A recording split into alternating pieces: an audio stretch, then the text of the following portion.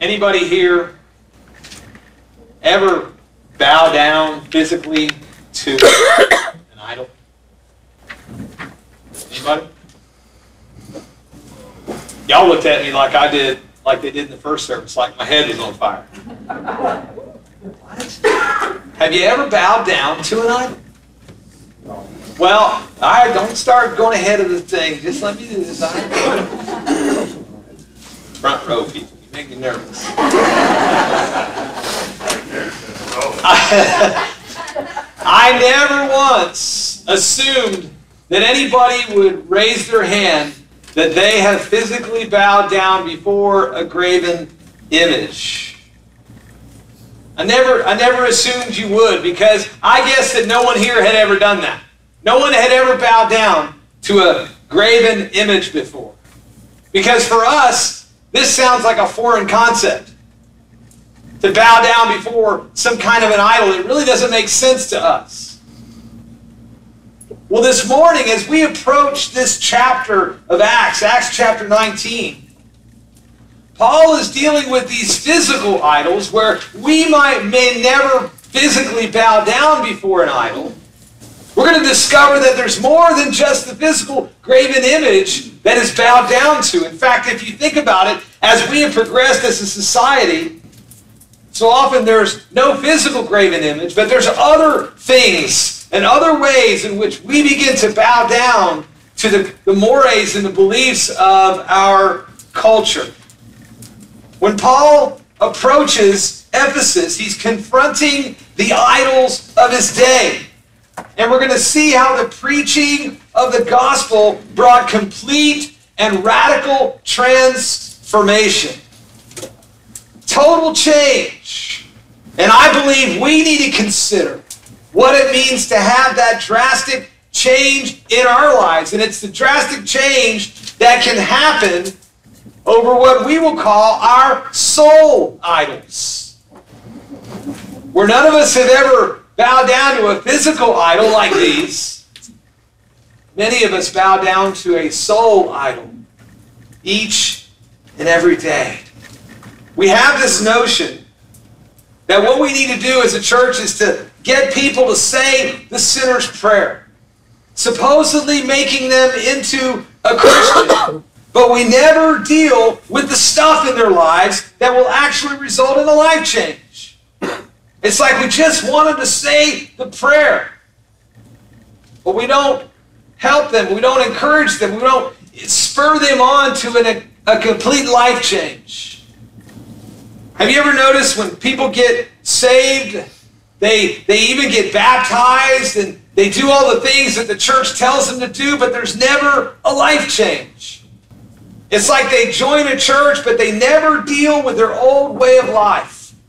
They never bring the idols with them, so to speak. I remember when I came to Christ, I was at a church, I went to the altar, and, and I said the prayer, and then they whisked me off to the back room, and they talked to me for about 30 minutes, and, and, and they were they were convinced I was converted. So then that night I, was, I came back and I was baptized. And then I joined the church that day. Whoa. And I had no idea what had happened. I had no idea that God wanted me to change the way I live. And so my life didn't change. In fact, for the next six months, it got worse.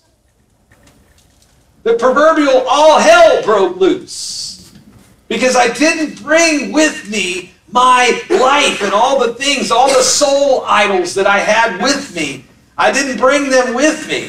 Never brought those things to be destroyed. Oftentimes, it is a result of the fact that we think we can have Jesus and somehow still bring with us all the things that we like. You know, Jesus loves me, this I know, and His grace covers all my sin. So I can bring this stuff with me. Because he loves me, right? We sing about, it. oh, he loves us. Oh, how he loves us with all the stuff I want to do. He loves me anyway. we may not be verbally saying that, but in many ways, that's what we're really saying, right? The very things that actually stand in the way of us living the Christian life, we want to bring them with us. Well, as we have discovered in this series, uh, Paul has gone from town to town, and he encounters these people now in the in the, uh, the Gentile world that are idol worshippers. In fact, at the secret church that they did that Wednesday night, it was called the uh, Forest of Idols. Thirty thousand idols in this one place. Thirty thousand idols. And so Paul is preaching the gospel in these arenas with these people who were totally outside of the Christian world. They were totally away from the, the, the, the Jewish culture. And they were worshiping and serving all of these gods. And so we've kind of become aware of what it means to be an idol worshiper. Let me give you the definition of idolatry. Idolatry, and this is in your notes, is the worship of a physical object as a god. And now we determined at the very beginning, because nobody really raised their hands, that they've ever worshipped a physical object as a god. But let's take it a step further. Or an immoderate attachment or devotion to something other than God. Now think about that for a minute. What does that include? Anything. It could be your career. It could be your spouse. Watch out now, preacher. It could be your child. We live in a society where parents worship their children. Oh, yeah, I see it all the time. Mom and dad give and pour every ounce of their energy to make oh. sure that little Johnny or little Susie gets everything that they want. We see it coming up in about a month where you all bankrupt yourselves to make sure that they get that special toy or that special. I, nowadays it's iPods, iPads, and irate. I don't know what you guys are doing kids. They're, it's amazing the stuff that parents will go through to make sure their kids have everything they want. And so they pour all their lives into kids, and, and I'm not telling you don't take care of your kids. But what happens is you give all your energy and all your love to your kids, never mind your spouse. Because when you're raising your child, what are you raising them to do one day? Get up out of your house. You are raising that child to leave your house one day. And right now, you may think, I would never want that to happen. When they're about 17, you're like, please leave. when they argue with you and they say, I hate you, you go, there you go. On your way out. right?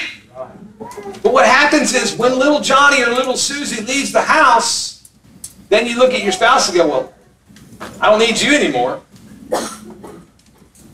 And marriages are done when the children are old enough to get out of the house. And in many times, it is a result of them putting their attachment or their devotion to something other than God. These idols are the things that we think we need to bring with us or that we refuse to let go of. These are the things that will ultimately destroy us if we don't let them go. The things that you're holding on to, the habits, the painful life, the, the, the, your past, your present, your addiction, whatever it is that you're holding on to, is the very thing that you've got to let go of in order for you to be able to swim. It's kind of like a guy jumping into the ocean holding on to an anvil. I know some strong swimmers but I don't know a swimmer in this world that could successfully swim or keep themselves from drowning by carrying an anvil while they jump in the water. And so as you're drowning, you're like, oh, oh, if I could just get to the surface. And God's saying, let go of the anvil. The very thing that we think we have to hold on to could be the very thing that is keeping you from living, that could keep you from drowning in that ocean. Well, we have discovered in this series that God wants to do some incredible things in us. He wants to keep us in His path. He wants to show us how we can live this life with power and not constantly going back to our old way of life. How many of you remember the book that came out in 1990? It was called The Frog in the Kettle. Anybody remember that book? A couple of you. Nobody had heard of it in the first service. It was George Barna. And basically, his pre- premise is that if you place a frog in a kettle full of water, you put it on a stove. This isn't demented, so just stay with me. That frog will just swim happily in that, in that pot.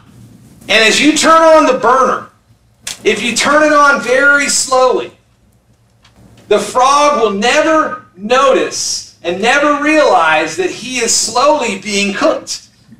Their body just adjusts to the temperature changes to the point that you finally have that burner wide open and you are cooking that frog and he never makes an attempt to get out of the pot because he doesn't realize that his environment has changed one degree at a time. And so the author's premise is that you and I have been immersed in a culture, in a way of living, that we are so caught up in this world that even though the temperature is being turned up, even though we're being called to accept more and more as Christians, just watch TV for 10 minutes. What used to be done in the back alleys is now done right in the main street. And you know what Christians do? We're like the frog in the kettle. we don't even realize that we are slowly being cooked ourselves. And until the church recognizes the soup that we're in, we too will meet the same demise as our little frog friend. As that burner is turned up, we are beginning to be cooked one degree at a time. Well, here in our text today, Paul comes to Ephesus, this great city, this city with all kinds of power. The Greeks had all kinds of temples and idols, and Paul comes to Ephesus and he goes right to the crux of the problem. And he asks this question of the, the followers there in Ephesus. He says, Have you received the Holy Spirit when you believed? Right out of the gate, the first thing he asked him is, Have you received God's Spirit? You see, the essence of Christian experience, which is often replaced by making sure our, our theology is good or that our doctrine is good. So Paul reminds us that knowing accurately things about Jesus is not enough. It's not enough to just think about him and know about him. There must also be the reality of the indwelling presence of the Spirit that fills us with the power of God to witness and to overcome those idols that we bring with us when we come to Jesus. Listen to what one commentary described Paul's ministry at Ephesus to be like. He says Paul's ministry over two years had great effect. His work obviously consisted of more than gathering people into a church. We think we just got to get people in church. One of the first things you ask a person when you're talking to him about God, well, what church do you go to? Right? My usually my next question is, what's the pastor's name? And If they start going, um, that's a good sign. They just told you a fib. Right? We think just get them in the church. It was more than that. Paul saw that it wasn't just about getting people in church. It had a powerful outward thrust so that the entire province of Asia was impacted. An important lesson for evangelism in our day. The ultimate goal is not church growth. It bothers me when our denomination sends me that little paper. How many people did you have come this year? How many people got saved? How many people da da da da? I'm like, really? Frustrates me. It's more than that. Paul's ministry was about spreading scriptural holiness throughout the land. Such ministry like Paul's makes a powerful impact on the culture. There are those who attempt to cash in on it, the, on the movement by mimicking the methods, but who lack in real, uh, the reality of the experience that empowers the methods. The old values and the old structures of culture become overthrown. And the transformed lives of disciples are a vital witness to the wider culture. In essence, that is what we're going to talk about today. That life change, like we saw in Phil Robertson, who was one way, And when God got a hold of his life, he didn't just decide that, well, I'm going to be a Christian now, but hold on to my old ways. Miss Kay said this was a new day for him. He hadn't even considered being a good person. He hadn't even considered the ways of God that God wanted him to be a part of. But this was a life transformation. And that's what we're going to talk about today. The power, the powerful presence of Jesus in us is not just about escaping hell. Jesus didn't go through all that he did just to punch your ticket so that you don't have to go to hell when you die. Oh, it's so much more than that. Jesus came to, to, to come and transform you. He came to smash the soul idols that we all bow down to every single day. These soul idols that constantly batter us and constantly push us in other directions other than God's direction. Here in chapter 19, after John's followers were filled with the Holy Spirit, some impostors came to try to perform an exorcism, if you read the story.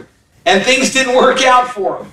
The demon possessed man attacked these posers, beating them badly. The demon said this I know Jesus, and I've heard of Paul, but who are you? And then the possessed man went berserk, jumped the exorcist, beat him up, tore off their clothes, naked and bloody. They, they got away as best as they could. So this totally wrecked this community. We're going to start here in verse 17. It says, The word of this strange event spread throughout Ephesus among the Jews and the Greeks. Everyone was shocked and realized that the name of Jesus was indeed powerful and praiseworthy. Look at the results. As a result, a number of people involved in various occult practices came to faith. They confessed their secret practices and rituals. Some of them had considerable uh, uh, libraries about their magic arts. They piled up their books and burned them publicly. First book burning. Uh, it says uh, someone estimated the value of the books to be 50,000 silver coins. And so the word spread and the message of the Lord overcame resistance and spread powerfully. This was more than just a church growth seminar. There were witches and warlocks that came out of the woodwork, bringing all of their idols to be burned. These were lives that were transformed. One commentary said that the worth and the value of all the stuff they brought was upwards of two to three million dollars.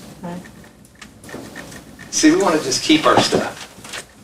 You know, Jesus saved me, so I'm just going to keep my stuff. I'm just going to keep my, you know, he understands.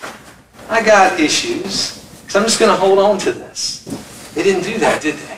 It was evident at this moment that the power of Christ had come and totally transformed. The word of Jesus was now sovereign. It prevailed in Ephesus. The word of God had a huge impact so much that people wanted to change. Now, I want you to think about something. When we think about Paul being this itinerant preacher who went on a mission trip, we think about him maybe going to a little village of five or six people or going to the streets and talking to people, the common folk, the indigent, the homeless. You know what? That's not what he did. It says that he went to the main town hall. He went to the places where the rich were. He went to the places where the ed. It'd be like him going to Rockefeller Center and standing up before all these wealthy people and giving the cause of Christ, debating and, and talking with those who were educated and powerful.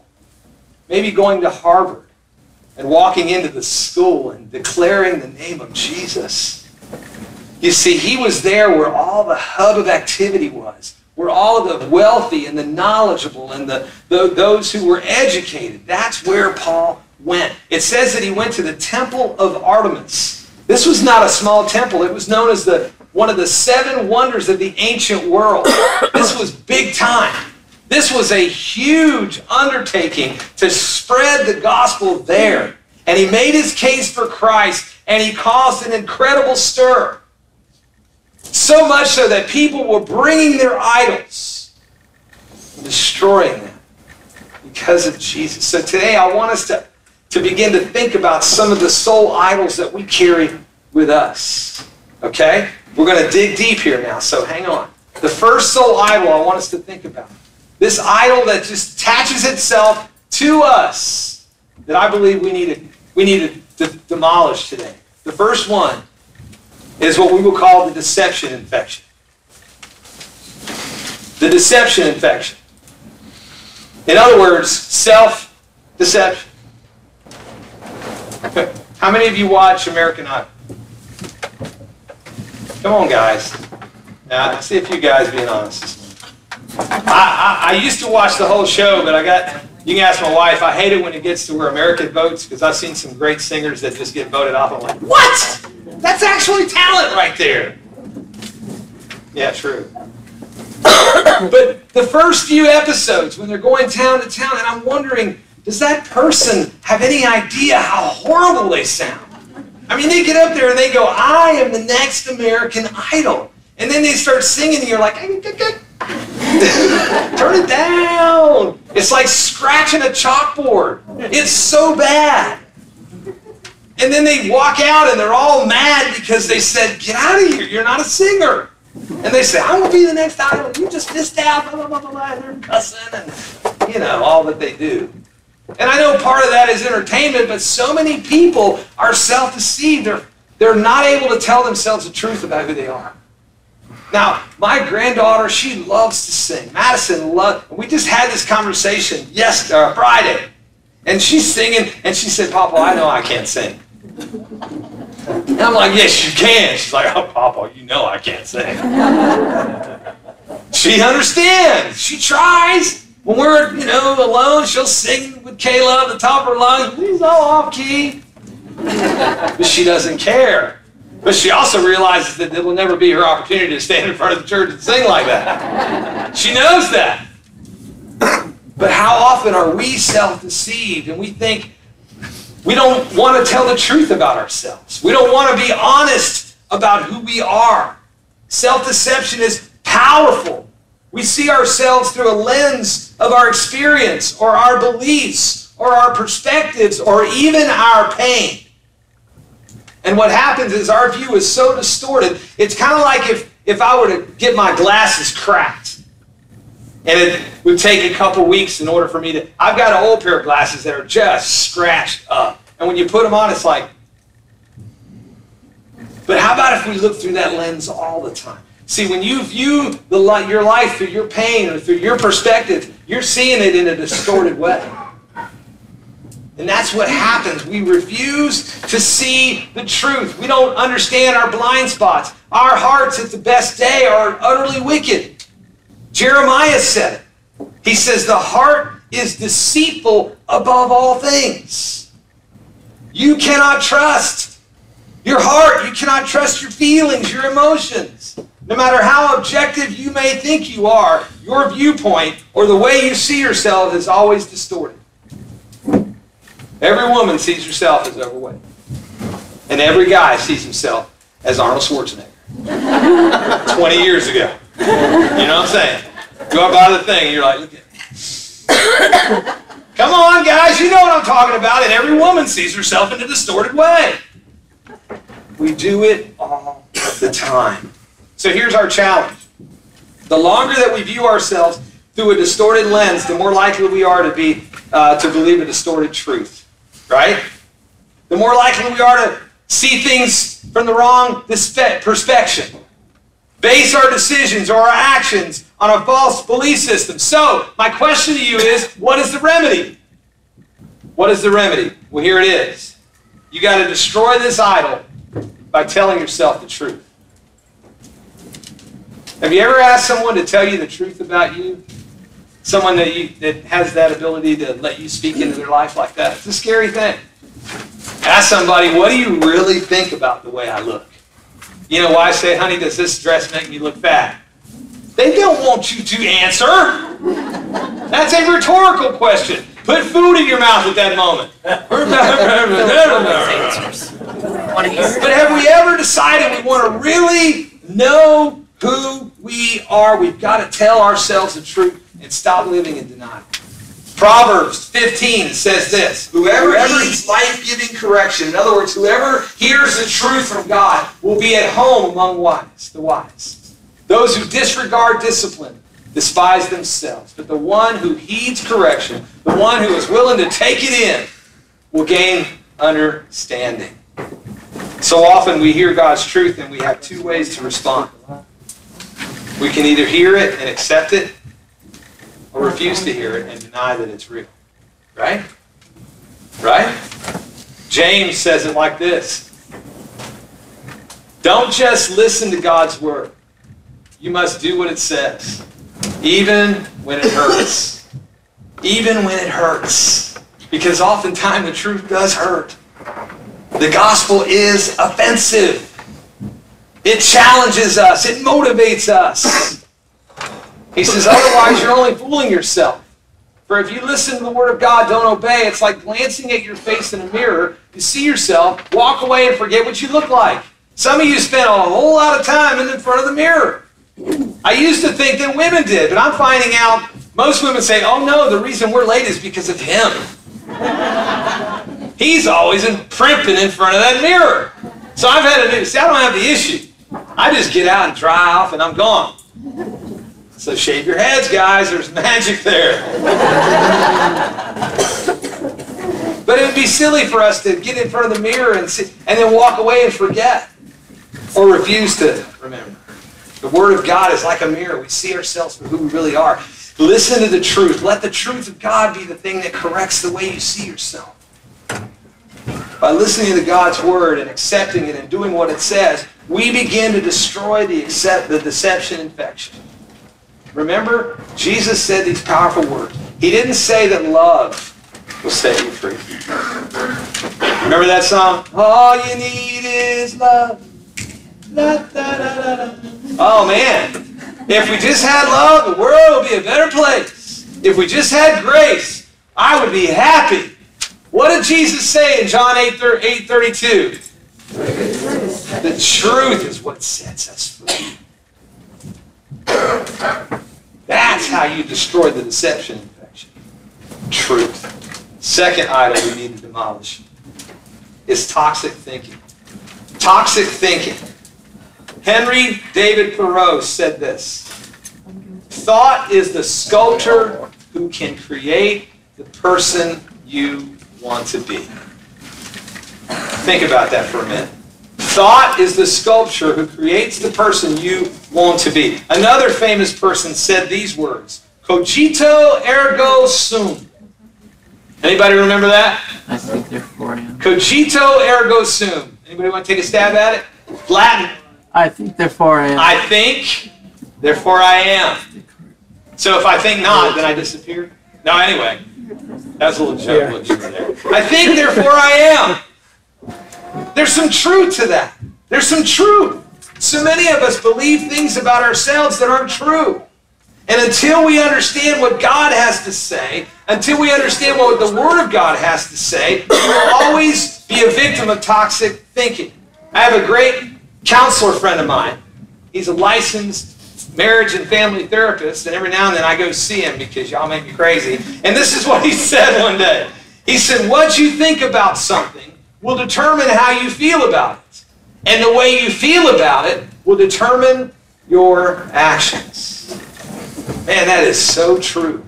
The way we think will determine how we feel, and the way we feel will determine the way we live. And that even includes the way you think about yourself.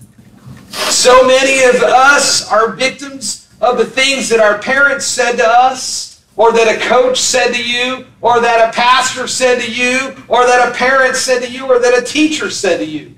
And the words inflicted particularly by your fathers, particularly by your fathers, have an inordinate amount of power in your life. We know ultimately where toxic thinking comes from, right? We do know that this is Satan's most effective weapon to use. If he can get you deceived, if he can get you to think less of yourself than you ought to, because it's our thought life, particularly about the way we think about ourselves. that can do the most damage on the inside. Proverbs said this, For as a man thinks in his heart, so is he. So the way you think about yourselves, in many ways, determines the path you choose. So what you and I think about ourselves determines our self-awareness. So, what is the remedy? Like, I'm glad you asked. Here it is. The remedy is that we must be determined to overcome these false beliefs. We got to be determined to overcome these false beliefs. The bottom line is the only way I can discover who I am is to discover who I am in Christ. Discover who I am in Christ. Listen to what Paul said in Galatians 2:20. He says, "My old self has been crucified with Christ. It is no longer I who live, but Christ lives in me. So I live in this earthly body by trusting in the Son of God who loved me and gave himself for me. So the way that you and I can overcome false beliefs is to recognize what Christ has done for us and to constantly remind ourselves of that truth. Destroying this soul idol requires us understanding that Christ gave his all for us. And you and I need to, remember that we mean that much to him. Again, in Paul's second letter to the Corinthians, he gives us a remedy for toxic thought life. He says, The weapons of the war we're fighting are not of this world, but are powered by who? Powered by God and effective at tearing down the strongholds erected against him. We are demolishing arguments and ideas and every high and mighty philosophy that pits itself against the knowledge of the one true God. Of the one true God. We are taking prisoners every thought, every emotion, and subduing them into obedience Jesus. That's how you destroy this toxic thought life. It's like a virus firewall protects your computer. You and I must remain vigilant over our thought life and against Satan's lies that threaten to corrupt, corrupt the hard drive of your mind. As Christians, we have weapons. Those weapons are faith, those weapons are prayer, and those weapons are God's Word. If we're going to win the battle of the mind, then God's truth is the thing that releases us from this prison of soul idols. The next soul idol we need to smash is lethal language. Lethal language. Mother Teresa once said, Words which do not give light of Christ, the light of Christ, increase the darkness. Words which do not give the light of Christ increase the darkness. Let me throw out another phrase, see if you're familiar with this one. Sticks and stones may break my bones, but names will never harm me. How many of you have heard of that? Every person on the planet has heard of this. And how many of us know how utterly wrong it is? It is a lie. It is a fat lie. Yes, sticks and stones will break your bones. But many times those bones heal. But words Words sometimes are never healed. Words sometimes we never get over. I still carry the scars with me for words that were spoken to me when I was a kid by my father. My dad and I, we reconciled, we hugged, and we he apologized, and we we had a great time. His last six years, I led him to Christ. I was able to be there that day at 76. My dad gave his life to Jesus. And so for six years, he followed Jesus and just a new man. But to this day, some of the things that he spoke over me as a child, I still battle. And I'm going to guess that I'm not the only one in this room. Moms and dads, you have the power. You know that passage, the power of life and death in the tongue? Moms and dads have that power. Especially dads. Especially dads. I don't know what it is. Maybe because the mom's more nurturing and Dad's a little rough, I don't know, but there's something about the words of a father that can bring healing, that can build up, and then there's those words that can tear down. We have the power in our tongues. Words we say to one another can be devastating if they're not shared with love. Proverbs 18. Good, good passage here. Wise words satisfy like a good meal. The right words bring satisfaction. The tongue can bring death or life. Those who love to talk will reap the consequences. And then James echoes the same philosophy. He says, It only takes a spark, remember, to set off a forest fire. A careless word or a wrongly placed word out of your mouth can do that. By your speech, we can ruin the world, turn harmony into chaos, throw mud on a reputation, send the whole world up in smoke and go up in smoke with it. Smoke that is right from the pit of hell. So, what is the remedy? Glad you asked. The remedy to this is for us to use life giving language. Use life giving language. If you have children that are young and they're still in your home and they're still impressionable, use life giving language. What's the first word most kids learn? My grandson's a professional knower. Beckett says no to everything. So I, I, we got in the car one day and he was he didn't want me to buckle him in, and I said yes, yes. And he's like no. I said yes, and he went yes. Just like that. So everything we I said yes, and he went yes. He may not have meant it, but just that one moment, I was able to change a little the dialogue there. And if you have opportunities to begin to speak life-giving language, speak it.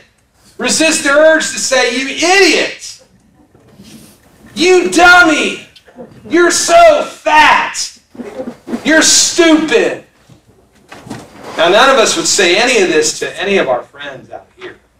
But how many of us speak like that in our homes? Man, use life-giving language. Listen to what Proverbs says. The mouth of a good person is a deep, life-giving well, but the mouth of the wicked is a dark cave of abuse. Kind words heal and help. Cutting words wound and maim. Now, we obviously can't control what others say to us, but we can control what we say to others, can't we? We can also control what we believe about ourselves. Since toxic words can destroy the soul, we must passionately guard our hearts against them. Proverbs 4:23 tells us to guard our hearts above all else, for it determines the course of your life. Solomon warns us to be vigilant Refuse to let down your guard on your heart. One translation says, because it is the wellspring of life. Your heart is what determines the course of where you live. So we must keep others from dumping their toxic waste into our water supply. The last soul idol we've got to destroy. Number four is the hazardous waste. The hazardous waste. When we sin, we have a tendency to deny it, don't we? Come on, don't get churchy on me. When we sin, we have a tendency to want to hide it, to cover it up, to bury it.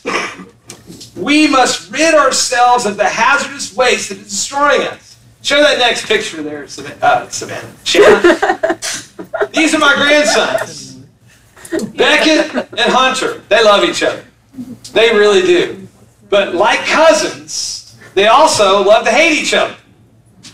Well, we went over to Nick's house to watch the Dolphins beat the Chargers. That was a good day. Not unlike the, la- the last game we had, which all of you Panther fans had your fun, your moment in the sun. All I'm saying is, if you make it to the Super Bowl, please don't choke this year. Win this one, please. Win this one. Sorry, I had to do that. So we're over at Nick's house, and it's just the three guys, the three guys hanging out. Lindsay's back in the bedroom saying, I don't want to be a part of this. She's hiding out. So we got these two just running free throughout the house. Well, they would go into Hunter's playroom, and then you would hear a, ah! you know, somebody was dying. So dads would go rush in, and usually it was Beckett that was crying.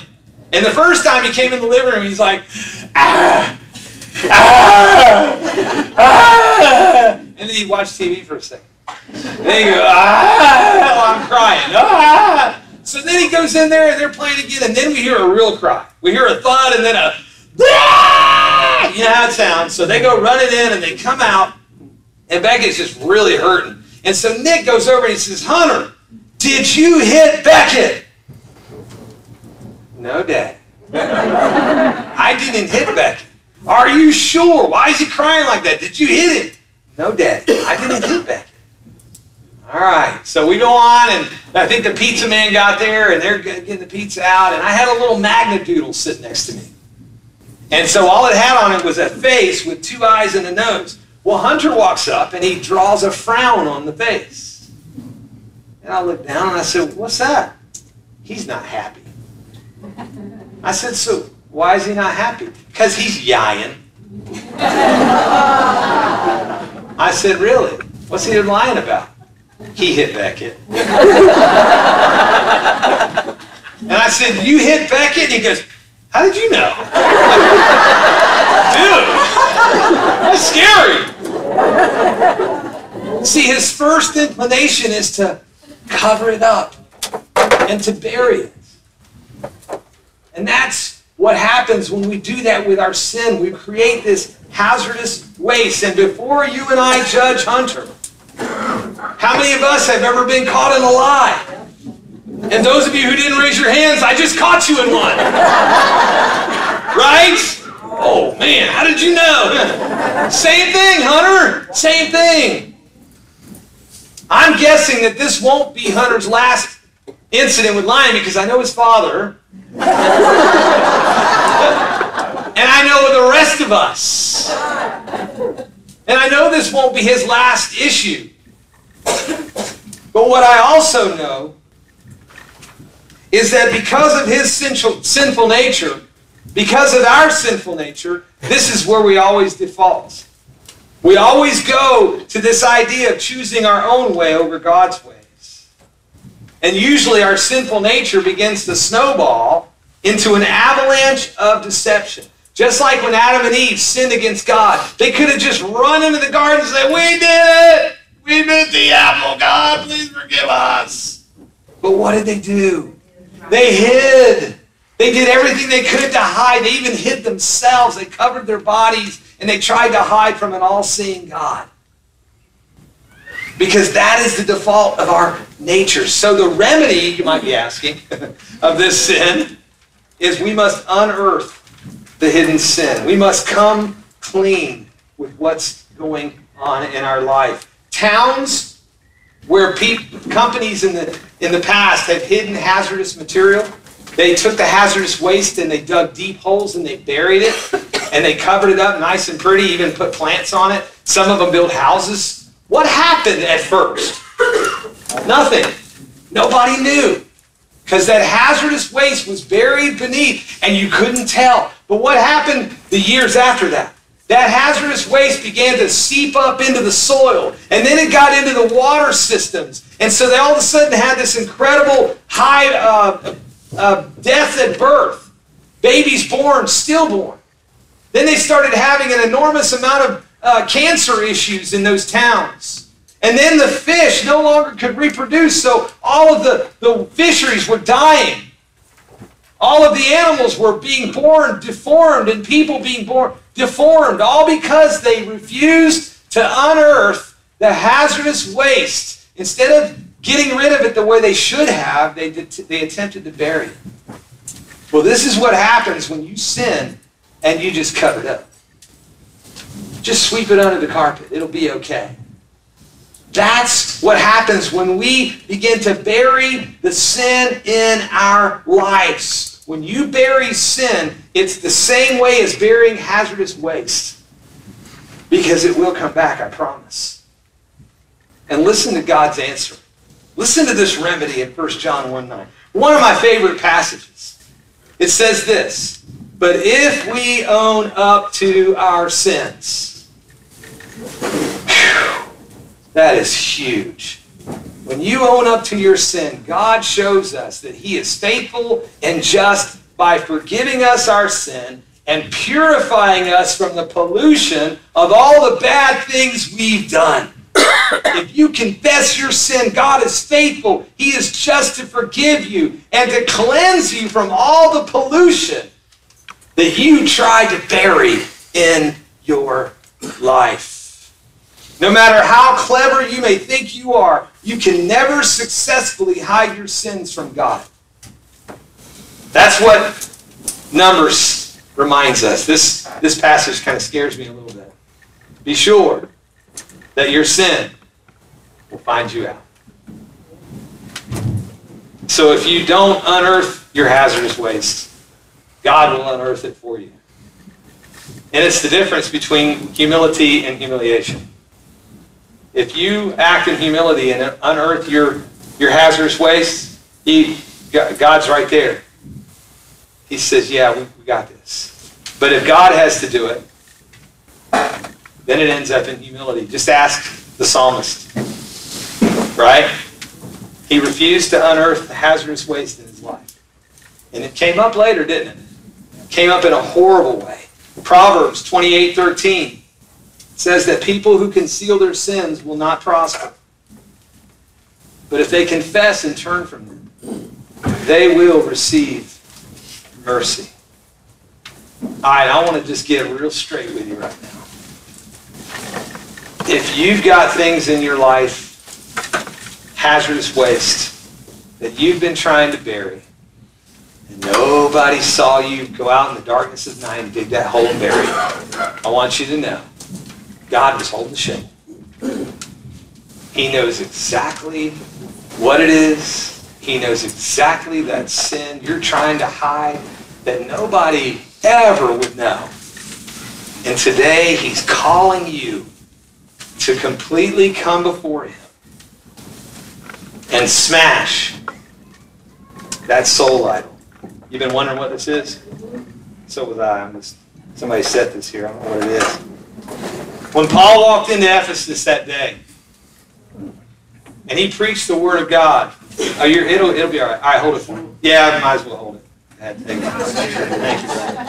you. He walked into Ephesus and he began to preach the word of God.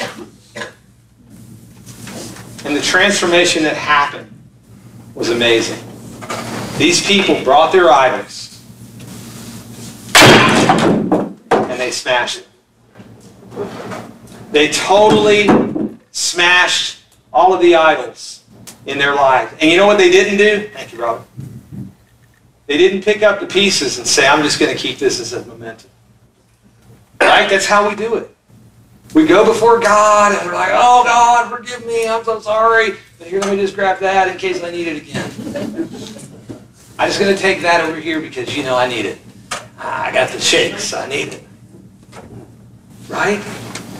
No. It says that they brought their idols and they smashed them, totally burning everything in their lives that kept them from being the men and the woman of God that God had called them to be. And today I want to call you to that place. That you would be that honest with God. That whatever it is you thought you've, you've hidden from Him, you're, you're sitting in your seat going, oh, no. He knows. Yeah, he knows. He knows. Listen to what Jeremiah 23 29 says. Does not my word burn like fire? The Lord says, Does it not shatter rock like a strong hammer? You see, the psalmist, David, King David, was, was known as a man after God's own heart and he committed a terrible sin. And you know the story. He did everything he could to bury the hazardous waste, killing the husband of the wife that he slept with. Just, I, can, I, I got this. We can make it nice. Then the prophet came and he said, You're that guy. You're the one who stole your neighbor's wife. And David fell apart. So what could have been an act of humility by not going down that road, instead he tried to cover it up and now it became public humiliation and he lost his son. So as we close today, I want to read you David's prayer. And I want to invite you to say this same prayer over your own life. Because of your unfailing love, because of your great compassion, blot out the stain of my sins. Wash me clean from my guilt. Purify me from my sin. For I recognize my rebellion. It haunts me day and night. Against you and you alone have I sinned. I have done what is evil in your sight. You will be proved right in what you say, and your judgment against me is just. For I was born a sinner, yes, from the moment my mother conceived. But you desire honesty from the womb, teaching me wisdom even there. Purify me from my sins, and I will be clean. Wash me, and I will be whiter than snow. Oh, give me back my joy again. You have broken me. Now let me rejoice. Do not keep looking at my sins. Remove the stain of my guilt. Create in me a clean heart, O God. Renew a loyal spirit within me. Do not banish me from your presence or take your Holy Spirit from me. Rejoice to me, re- restore to me the joy of your salvation. And make me willing to obey you. Bow with me. Bill, if you just bring the house lights.